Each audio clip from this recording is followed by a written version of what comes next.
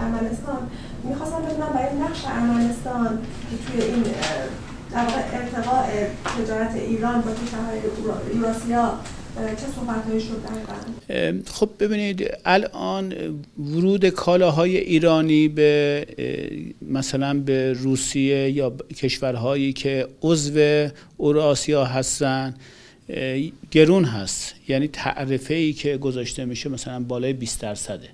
و عملا رقابت مشکل می‌کنه برای بخش خصوصی ما. ما هم با خود روسیه که انشالله من فردا دارم برای کمیسیون مشترک اقتصادی به همراه یک هیئت بسیار بزرگ 60 70 نفر هستن. از شرکت های خصوصی و نمایندگان دولتی دارم میرم اونجا.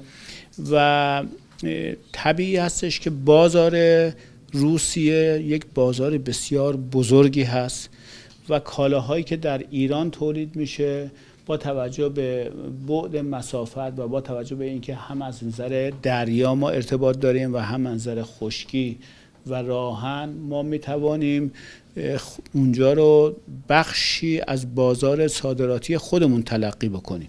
بر این اساس قرارمون بر این استش که در رابطه با کاهش تعرفه این اتحادیه برای ایران مذاکره بکنیم که من با آقای وزیرم صحبت کردم. ایشون هم آمادگی دارن که یا مستقیما خودشون تعرفه رو پایین بیارن در درون خودشون یا سازوکاری رو ما طراحی بکنیم که از طریق ارمنستان بتونیم در این بازار وارد بشیم.